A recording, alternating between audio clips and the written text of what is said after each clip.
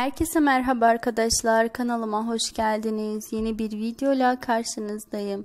Sefir'in Kızı dizisinin başrol oyuncuları Nare ve Sancar'dan mükemmel fotolar geldi. Bu iki çift mükemmel uyum içinde birbirini çok güzel tamamlıyorlar.